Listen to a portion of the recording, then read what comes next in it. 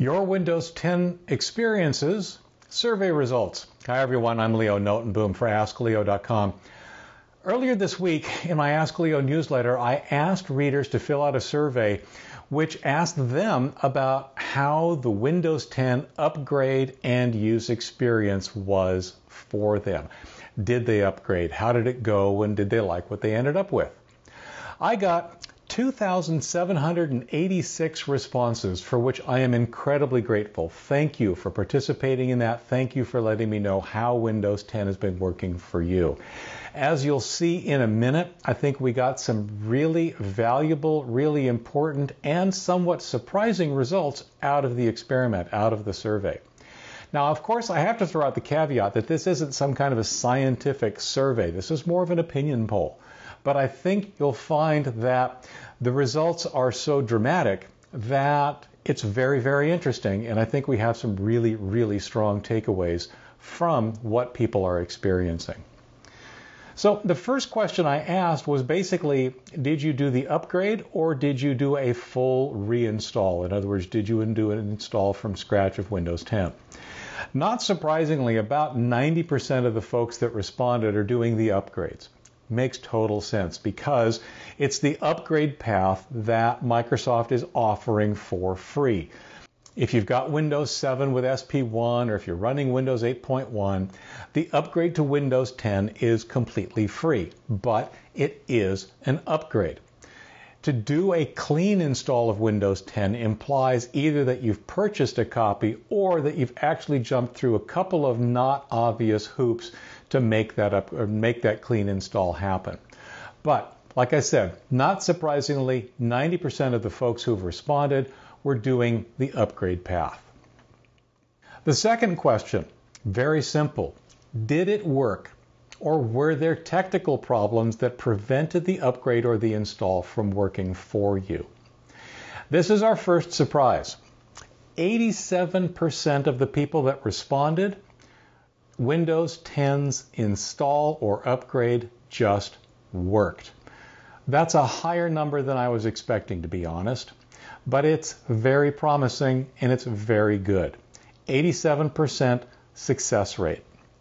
Now, for the 13% of the folks for which it did not fail, again, for some technical reason, this isn't a matter of taste or opinion here yet, this is actually the thing did or did not work because something literally did not work.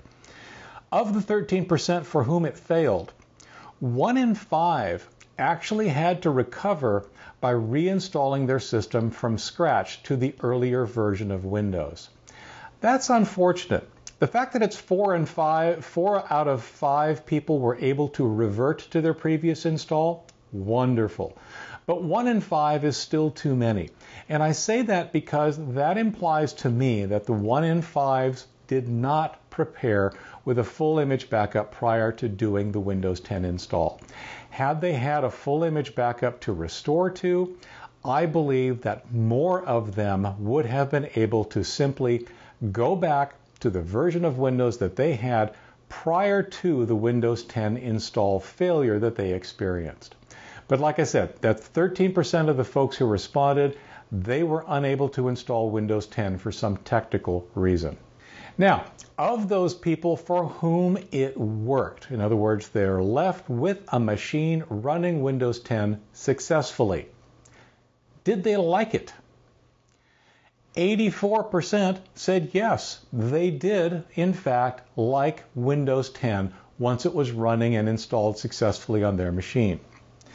9%, around 9%, decided to go back. They didn't like what they had. They ended up reverting back to whatever version of Windows they had prior to the Windows 10 upgrade. The difference, you'll notice that doesn't add up to 100%. The folks that remain, those are the folks who upgraded to Windows 10 successfully, played with it, decided they didn't like Windows 10, but don't feel that they have an option or an opportunity to roll back to what they had before. Now, there are many possible reasons for that happening, but I have to once again believe that one of the reasons is that they did not prepare for the possibility of needing to roll back by taking an image backup before they started. So, 84% of the people who install Windows 10 like Windows 10. They're happy with it and they're moving forward. One of the assumptions or, or inferences that I made a couple of weeks ago in one of my videos was that I thought that there was a correlation between machine age and your success rate at installing or upgrading to Windows 10.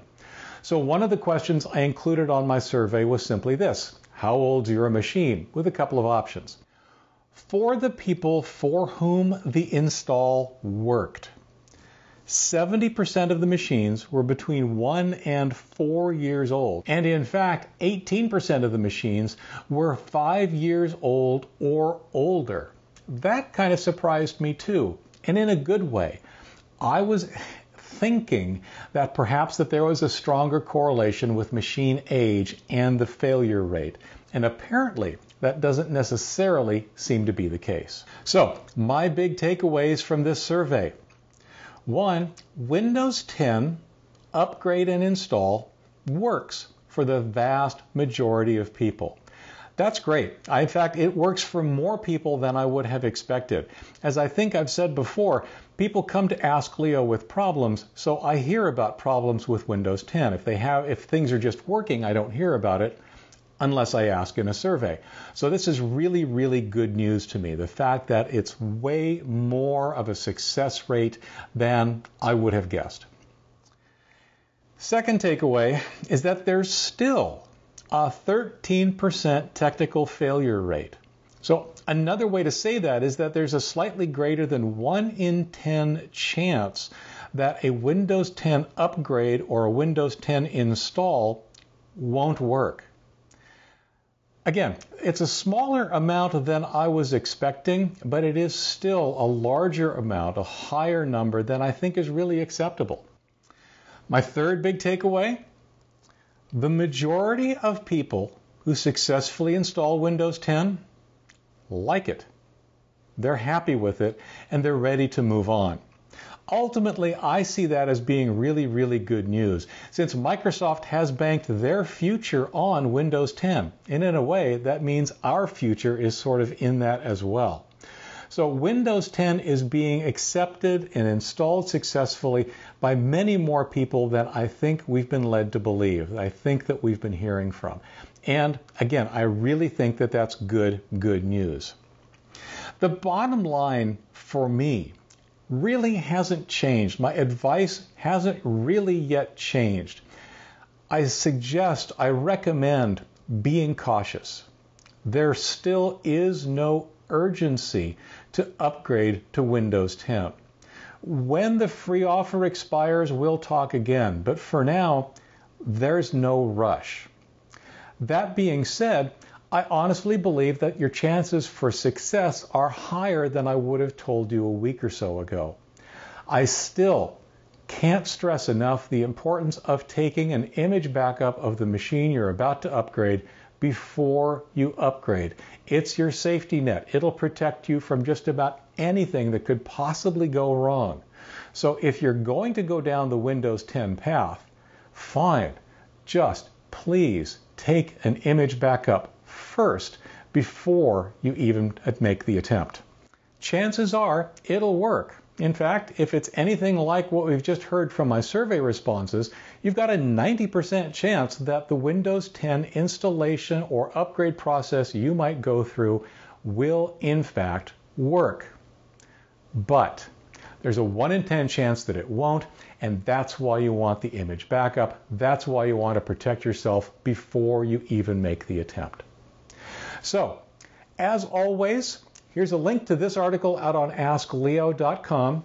Visit me there, leave your comments, let me know what you think. I would really love to hear your thoughts on what this survey seems to have uncovered and where you think things are going to be going. Until next week, I'm Leo Notenboom for AskLeo.com. As always, be safe, have fun, and don't forget to back up. Take care.